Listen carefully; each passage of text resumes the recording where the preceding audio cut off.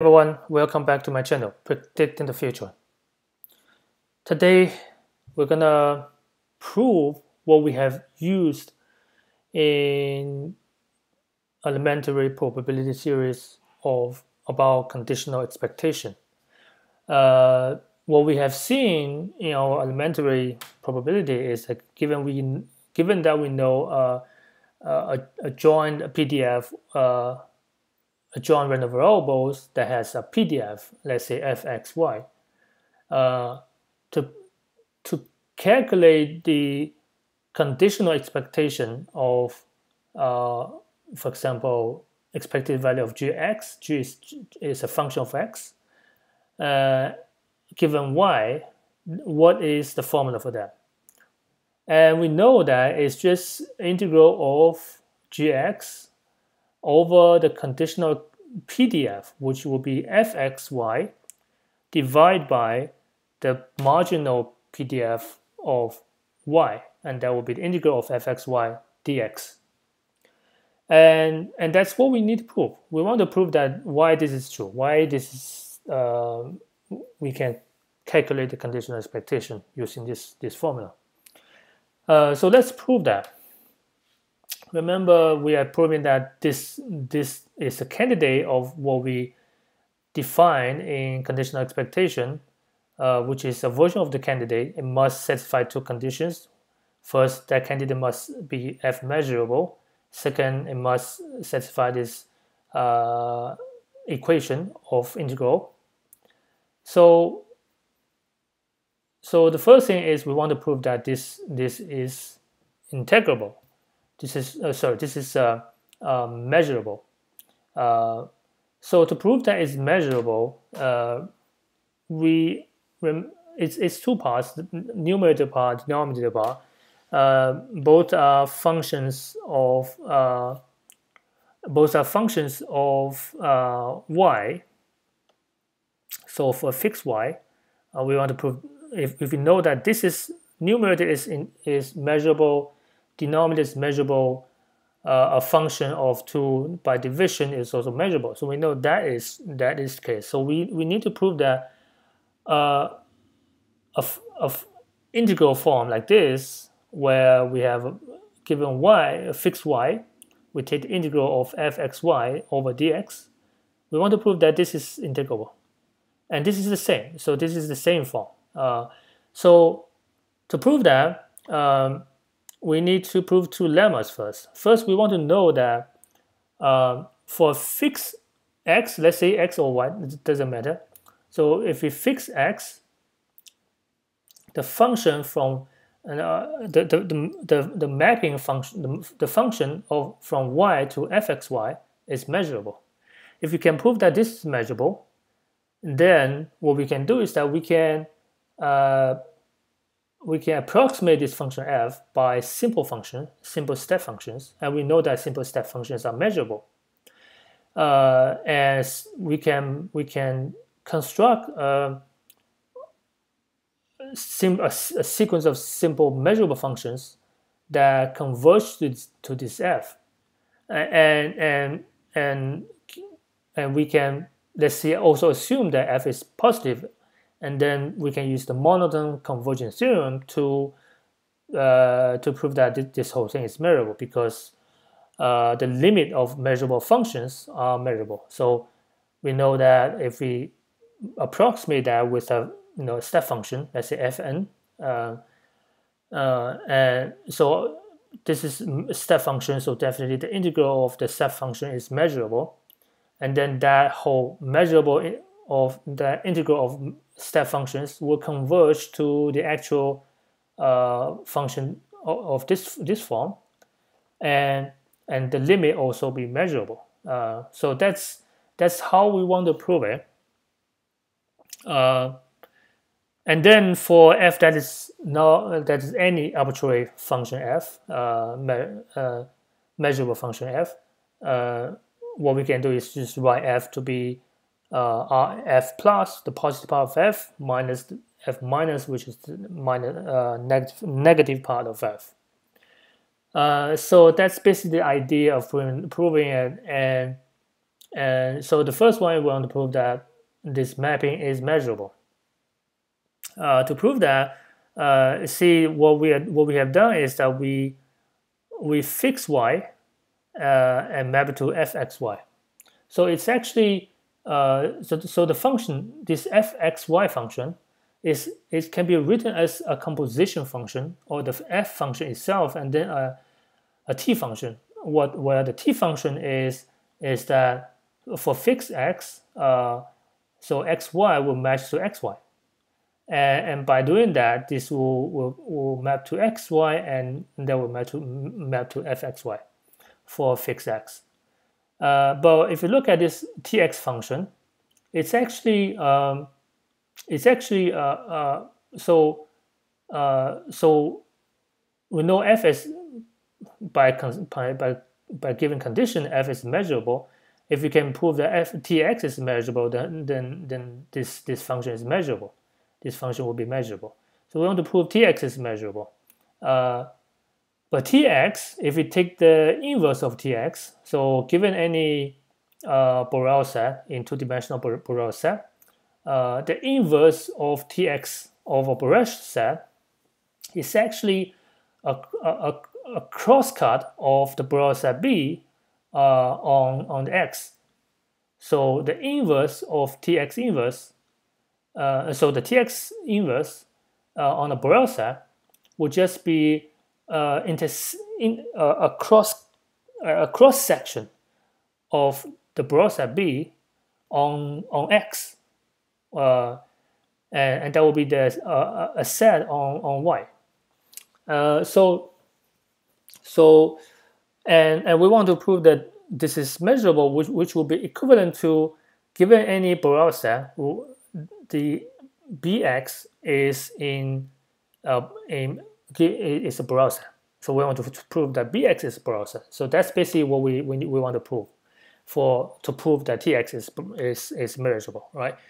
Um, the idea is, is uh, simple. So suppose we want to prove this is uh, um, uh, so Bx is a set, uh, then when we, we can see that uh, the Tx function has two uh, properties. If, if we if we take a, a inverse of a B complement, which will just be the real line minus the Tx inverse on B, uh, which implies that uh, a Borel set, uh, a, a Borel set in two-dimensional, the complement of B, and intersect with X by cross cross-cutting on X, X on X, would just be uh, equivalent to uh, the Borel set uh, cut on x and then take the complement.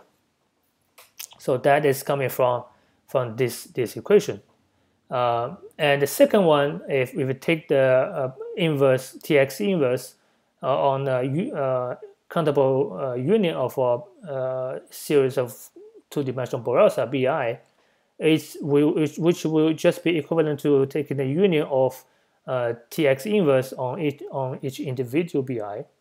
And that implies that uh, a union of BI and then, uh, then in, uh, cross, cross cut on X is just equivalent to uh, the union of each BI across cross cut on X. Uh, so what these two property will tell us is that if, we, if we look at the set of Bx that that is Borel set, that is for for for for for all two-dimensional Borel set, uh, the the x cut belongs to a Borel set. If we look at this set B, let's say call we call this B, uh, then if B if if a, if uh, uh, two dimensional two dimensional Borel set uh, is in, is inside this set, let's first look at this one then uh, then the x cut of its b complement is just bx complement, uh, and that is and that is in in the Borel set because we know the bx is the Borel set and complement is in, in the Borel set, which indicates that b complement is also in in this set b, and the same uh, if you have a series of bi in, in this set B, uh, then the union of those bi and then taking the x card uh, is equivalent to, by this condition, is equivalent to the, the union uh, on bi, bi uh, card on x for each uh, bi, and then union those, those cards. And that is just so this set is is in in the Borel set because uh, uh, each each card is in Borel set. The union is in Borel set, which means that uh, this this one. So because this card is in in the Borel set, which means that this is also a Borel set. Uh, oh, sorry, this is this is also in in this uh, set B. So uh, therefore, the set B is actually a, a sigma field. And, and since this, this set B uh, contains the rectangles, uh, which is uh, rectangles that generates the, uh, the two-dimensional two-dimensional Borel sets, we know that the sigma field, or the, the Borel set in two-dimensional Borel set is, is a sub-Borel set of this, this Borel set B. Uh, and which, in, which concludes that uh, the T inverse X or of B uh, which is bx, uh, is is in the Borel set for all b in two two two dimensional Borel set. So that's that proves that the function fxy is is a Borel set. Uh, is is is measurable. And then uh, now we know that this is this function for fixed x fxy is is is is measurable. Then the next one is, is, is we want to prove that integral of that is, is measurable. And, and the proof uh, separates into a uh, couple of steps. First step is we want to first assume uh, that f is greater than equal to 0, uh, no negative part.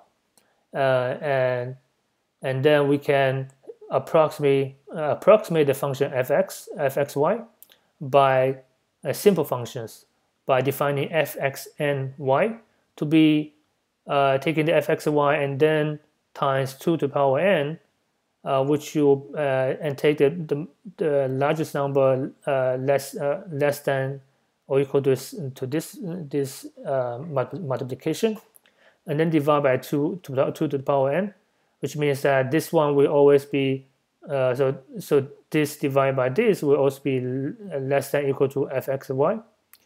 Uh, and then to make sure that we don't we don't uh, escape to infinity, we uh, we uh, we limit that to a maximum to a to a maximum of n. So we take the minimum of these two number, and and and this function when n goes to infinity will just converge to uh, fxy. Uh, so f and xy are just simple functions that converge upwards to this fxy. Uh, and so uh, the measure, so we know that these simple functions are measurable. Uh, so that that means that uh, the integral of the fu uh, measurable function is is measurable, and the limit of the integral of the uh, integral of the, of the simple function will just converge to uh, the integral of fxy because f and x is converge upwards to f uh, and both and, and both are, are positive. So we can use the monotone convergence theorem. Uh, so this one will converge to that. And, and because this is so because this is measurable, so the limit of measurable functions is also measurable, and the limit of this one, so we know that this integral of fxy dx is measurable. And so that proves that our case where uh, that this is measurable for f is greater than, greater than equal to 0. Uh, for arbitrary f, we can just write f to be f positive minus f negative part uh, to finish our proof that uh, this function is measurable for any f. Uh, so now we have that this is measurable. Uh, then division of two measurable functions is also measurable. Uh, so the, the, function h is measurable. So that proves our first condition for uh, for for making this to be to satisfy uh, the definition, the two conditions of uh, conditional expectation. So the second the second uh, condition we need to prove uh, is to prove that the integral of hy, the integral of hy on on any uh, omega on any event in in the sigma field generated by y, uh, the integral of that would just be equal to integral of gx uh, on on that same same set. So that's what we want to prove, uh, and the proof is also uh, easy. So suppose uh, A is is uh, set uh, from this generated sigma field of y, uh, then A can be written as A can be written of y omega for some for the so there exists some Borel set in B that A omega belongs to B and that is the set A. So uh, that's that's just because y is a measurable function. So we are taking we can so a is, is coming from the the inverse of y y inverse on b. Uh, so so b is the Borel set that we are actually integrating. So we therefore when we integrate that, we are integrating that uh, on the on the b set for any b set uh, for any uh, set a which is equivalent to the corresponding set b. When we integrate our uh, integrate the h function, which is our candidate, which is our candidate, uh, with uh, the PDF, which is just uh, the measure, the the uh, distribution measure, which will just be because this is just independent of x, so we, this can be taken out, and, and and inside this is just an integral of that. But hy hy is just uh, has, a has a denominator of the same integral. So this will cancel out. So this will cancel out this part uh, with the denominator of h. And what we left is the integral of gx fx y dx and uh, integral on, on, on the set b. And that is just integral of gx on the indicator function of y belongs to Borel set b. And that is exactly the same of gx on on the set A. And that is proving our uh, second condition. And uh, yeah, so that proves uh, what we have been using all the time for uh, the candidate function of conditional expectation uh, of using conditional uh, density function. And that's it, everyone. Hope you like it. Remember to smash the like button. Thank you.